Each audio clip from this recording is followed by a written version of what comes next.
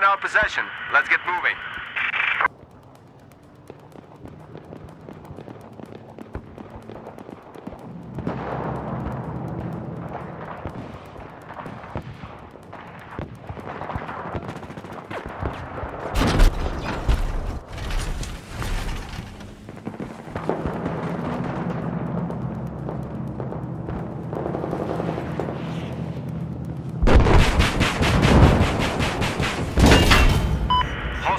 have our flag.